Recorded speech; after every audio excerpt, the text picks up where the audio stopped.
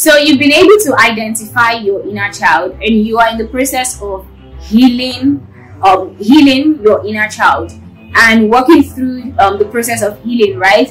And um, one of the things that we discussed in our last video, which was, you know, how to identify your inner child, was um, talk to your inner child. So when you find out, or if you find out that you have a wounded inner child, what are some of those things that you could say to your inner child, to that wounded inner child? This is what I'm going to be sharing and discussing in today's video.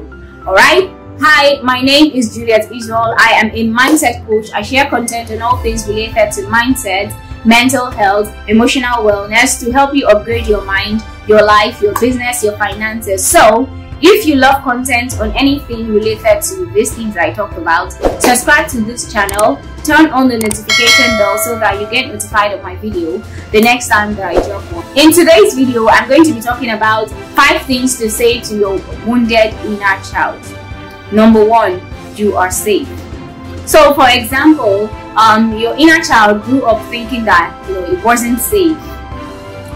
Maybe not literally, but even though you had guardians, parents around, maybe you grew up in a domestic violence home and every single time you are wondering if you're safe.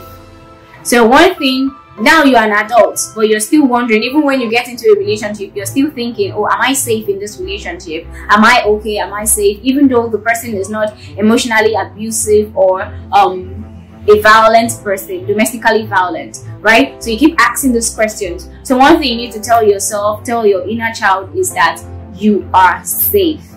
So another thing to say to your wounded inner child is it's okay to have feelings and express them. So people who, you know, tend to suppress their feelings, they probably had experiences in the past as a child whereby they expressed their um their feelings their emotions you know their excitement and it tended to be it was watered down they were they were shut down and all of that so they just kind of like you know took that experience and felt oh maybe i'm not supposed to share my feelings maybe i'm not supposed to let people know how i feel maybe i'm not supposed to express these emotions that are that are building up inside of me well, you need to let yourself, let your inner child know that it is okay to have feelings and express them.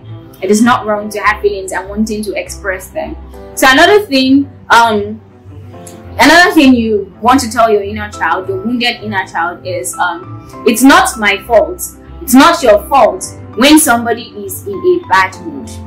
We are all responsible to um, for our emotions, how we feel even though um, circumstances may come and affect us, it is up to us to decide how we choose to react. So, when someone acts negatively, for example, the same example of maybe you you shared your joy with someone and you know they're not just in the mood to receive all that, and then you start feeling like, oh, is it is it what I shared that you know is making them feel that way? Is it what I shared that is making them withdraw and angry and, and flare up and all that. So you need to let your inner child know that it is not your fault um, for somebody. It's not your fault that somebody else, someone else is in a bad mood. It's not your fault. They just decided to be in that mood. right? So it's not your fault. So you don't have to take responsibility for their mood, their feelings. So you don't have to blame yourself for the mood that they are in. So another thing that you could tell your inner child is that I love you. So these may be words that you may not have heard sparingly, right? You may not have heard this word um, as as much as you would have loved to, and then you grow up and find yourself that you're you're you're always seeking validation, seeking love from another another person. So you need to let your inner child know that oh, I love you, I love you completely. As a child, as an adult, I love every bit of you. I love the whole essence of you. So you need to let your inner child know this. And then the final thing is to tell your inner child that I hear you and I see you. So most of the time we feel like we're not heard, we're not seen, our work is not known. So you need to let your inner child know that, oh, I hear you and I see you. So these are some of the things that you could tell your wounded inner child.